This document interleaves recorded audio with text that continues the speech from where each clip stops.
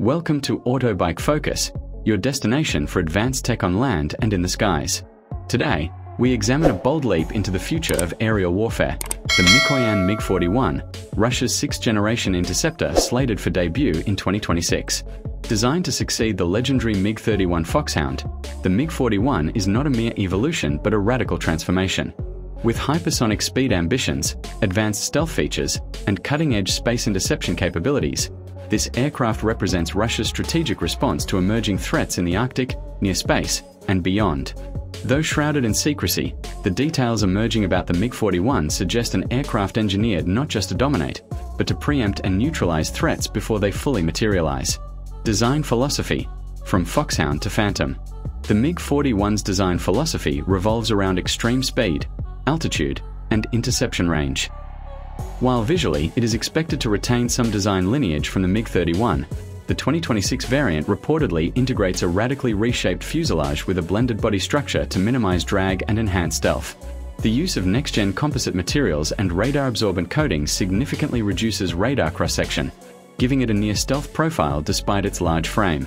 The airframe is optimized for operations above 30,000 meters and speeds exceeding Mach 4.3. With this, the MiG-41 positions itself not as a traditional dogfighter, but as a rapid response asset capable of engaging hypersonic and space-based threats from great distances. Power plant and propulsion breakthroughs. Central to the MiG-41's capabilities is its revolutionary propulsion system. Speculation and limited disclosures point to a hybrid air-breathing and scramjet-based engine configuration, capable of transitioning between subsonic, supersonic, and hypersonic flight. Reports suggest the integration of the Izdeliye 30 engine derivative, also being tested on the Su-57, with advanced thermal shielding and fuel-efficient cycles.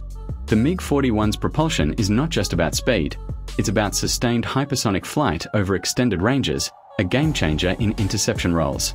With the ability to fly at hypersonic speeds for long durations, the aircraft can cover enormous sectors of airspace, critical in defending Russia's vast borders and Arctic interests avionics and near-space combat systems.